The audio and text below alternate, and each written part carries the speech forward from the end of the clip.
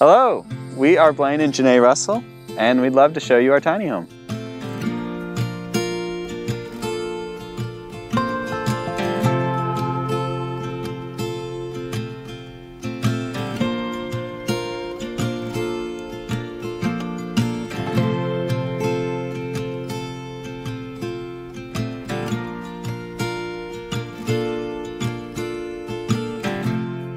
Welcome to the kitchen.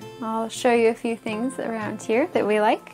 Yeah, so we have these quartz countertops and we really like just the elegant touch that they put on the kitchen. They're really easy to clean and we just love the color. And um, this is our sink and it has a nice little nozzle that comes out so you can rinse out the sink. So I love having a deep sink in the tiny home. I do a lot of cooking, so lots of dishes go through the sink. Um, one of the really neat features is that we have a double trash can. So we have one just for the trash, and then we have a recycling bin as well in the back. And then really nice deep drawers for linens and things. And um, some more for containers.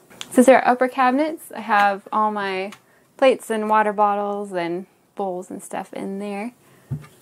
And then in these cabinets, we have more glasses and mugs and all things for coffee. We have more storage than we even need, and we definitely took that into consideration when doing the design process. Yeah, we have a full size fridge and freezer in here, and it holds a lot of food.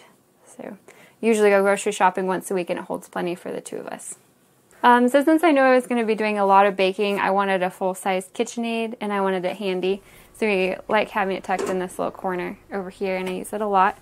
And then lots of utensils. I love having the space for that, but it's still out of the way.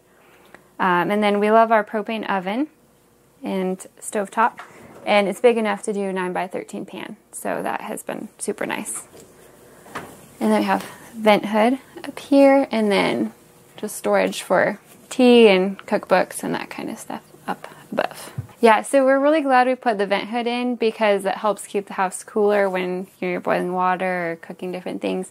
It also helps with the scent in the tiny house a little bit too. So one of the main things I like about this big area is just having a lot of countertop for cooking and um, it's usually full of things when I have a baking day.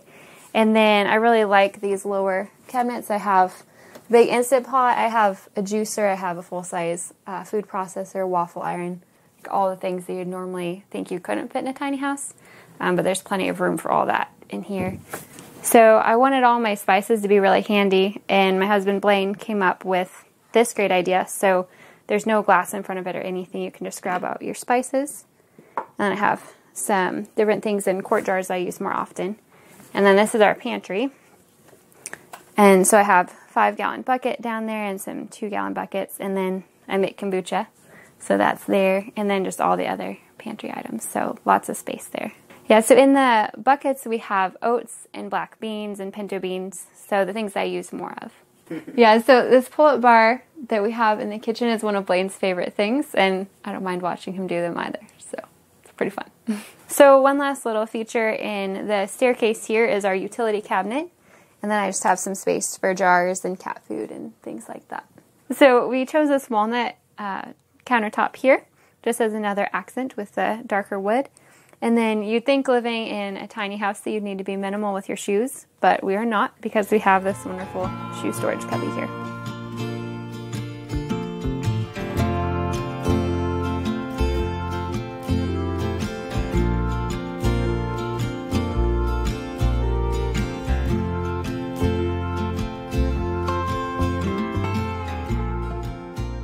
Yeah, I was a little hesitant at first about living tiny but once we moved into the tiny house, I've really loved pretty much every part of it. Um, I think what's made me like it the most is just the amount of storage in the house because I like to cook a lot and can, and we have a garden. Um, so the kitchen was the biggest thing to me. And so since I've had that space that's been really usable, I've been happy with the house. And I like the coziness of the loft and the elevator bed, and um, it's just really been everything that we've needed. So for me, there haven't been a lot of cons. Yeah.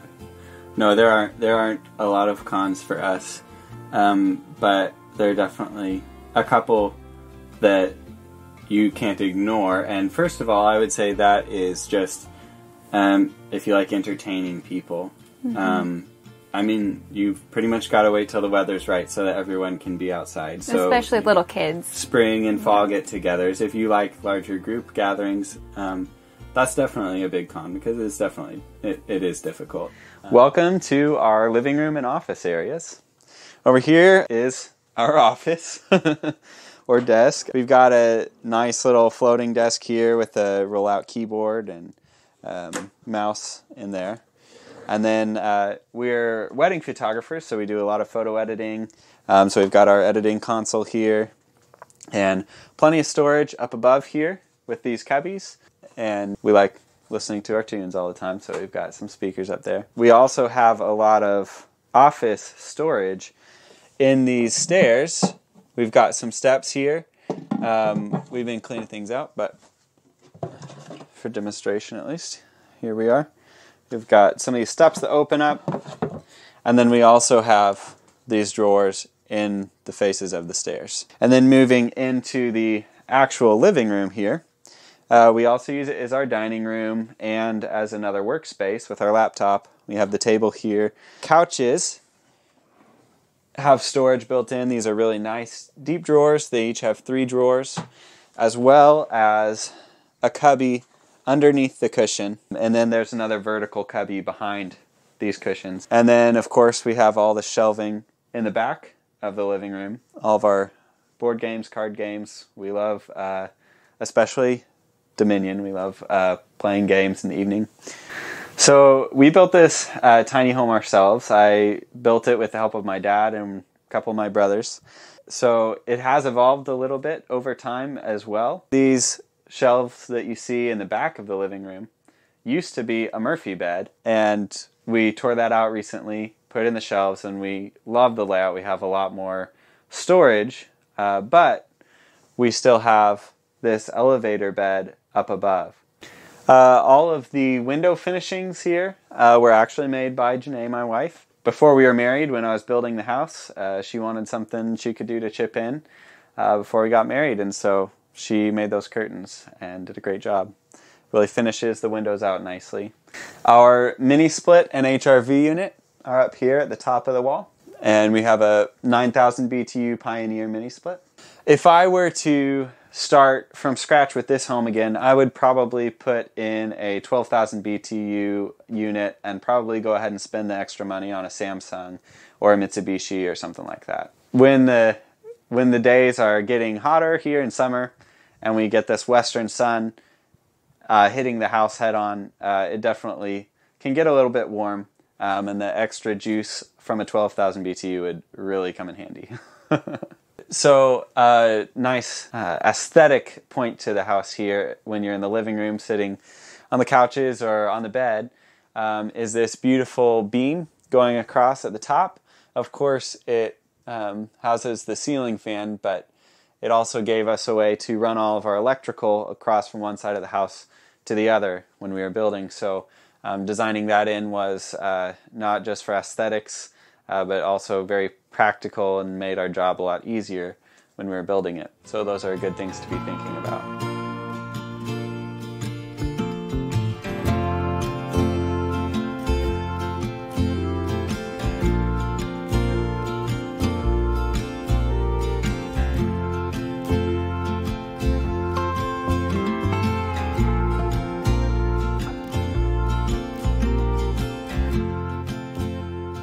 Yeah, so we have a lot of people ask us if we ever feel like we're too close to each other in a tiny house and if we need more space. but we really love being together. Um, he works away from home part of the time, and so whenever he's home, I just want to be with him, and he feels the same way. So we really enjoyed living in a tiny space, and he can work on the computer, and I can be making dinner, and we can still have conversation. Yeah. And you definitely couldn't do that in a larger house. Yeah, So that's yeah. we nice. we still have separate spaces and separate things that we're doing, um, Mm-hmm. but we like that even when we're not spending time with each other specifically, we're still near each other, and um, I Mm-hmm. think that's uh, been a really foundational part of our marriage the, the first couple of years here. So. Mm-hmm. So before we take you upstairs to the loft, uh, we'll go ahead and show you the bathroom. So most people are surprised uh, when they walk into our bathroom because it's actually quite spacious. We've got everything packed into here. We have a nice shower with uh, sliding glass doors. Over here we have our hampers and of course um, the floating shelves for our towels and, and such. And then uh, we have a double level vanity here. Um, so got a nice set of a nice bank of drawers here in the corner. Here we have our uh, composting toilet. This is a C head composting toilet. And we also have this storage for um, all the composting medium and uh, anything associated with the toilet goes there. We uh, usually change the compost medium every five days or so. That's kind of the sweet spot we found for the two of us with the C head. The C head toilet is really nice because instead of adding compost medium every time you use the toilet, um, it actually has this little stir stick here, and you fill it with composting medium uh, when you have a clean bucket. And then every time you use it, you just use this little paddle to spin the contents in the bucket just a few times, and then you're done. So we find that a lot easier than having to get a scoop out and throw the composting medium all over the bathroom every time. And it also has a urine diverter. And so behind me and behind these curtains is where we keep our full size washer and dryer. Not a combo unit. We heard a lot about um, people having issues with uh, the drying cycles, um, not really getting their clothes dry enough, or um, just lots more maintenance versus a standard washer and dryer. So we made sure to design in a space for these. And on the other side, we have quite a bit of hanging clothes storage. Again, we try our best to be minimal, minimalists, but um, well, we do our best. and we have a clothes hamper and some extra hats and scarves and things in a tote down there. We also keep our broom in this closet. And um, we'll admit the closets can be a little cluttered in a tiny house, uh, but we try to keep up with it, not let the mess build, and uh, and it hasn't been too much of a problem.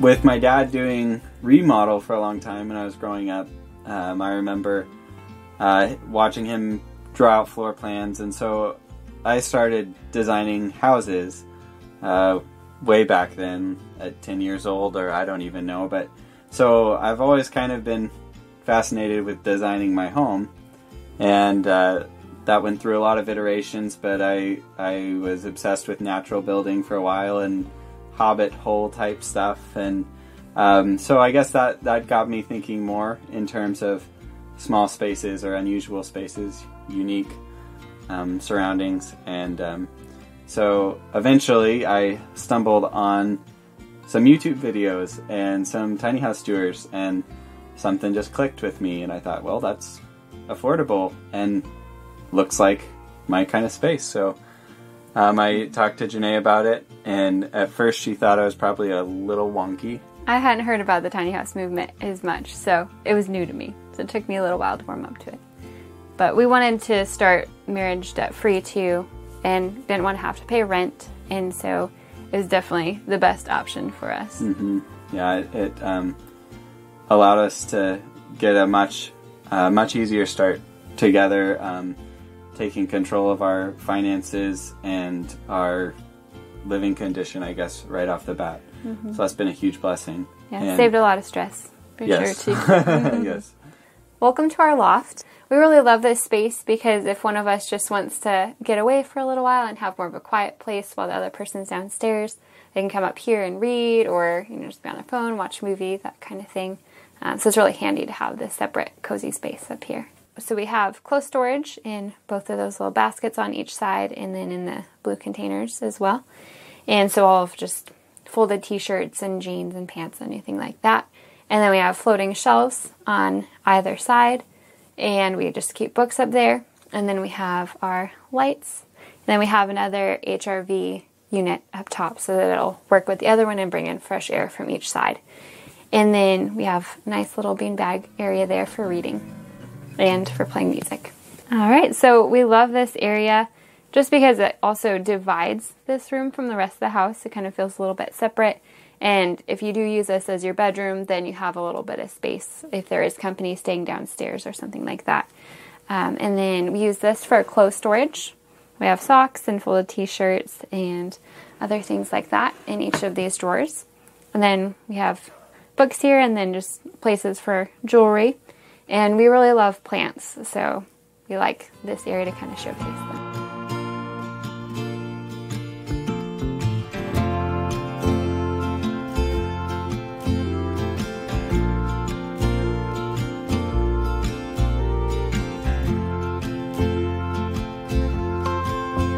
Okay, so here we are on the outside of the tiny house. It's built with wood structurally and then it's finished with LP smart siding. The trailer is one I had custom made for the tiny house. It's a three axle trailer with a 21,000 pound uh, weight rating.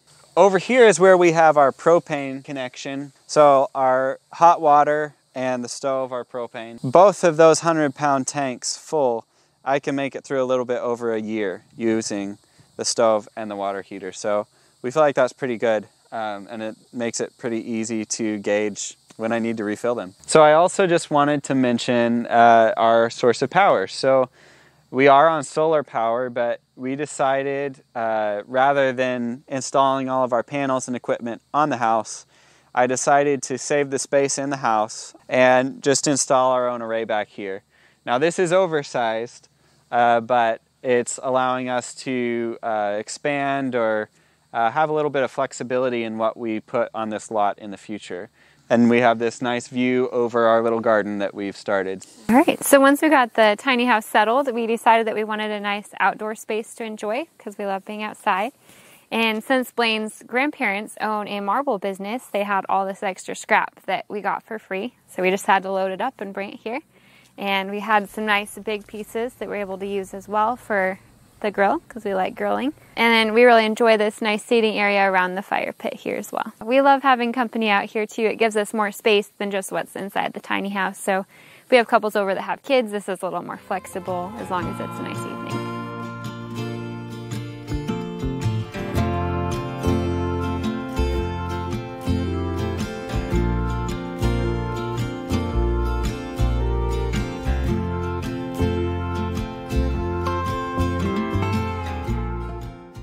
So, if you'd like to see more of our work uh, with our custom tiny home uh, business, then you can feel free to check us out on Instagram or Facebook. We are Cornerstone Tiny Homes.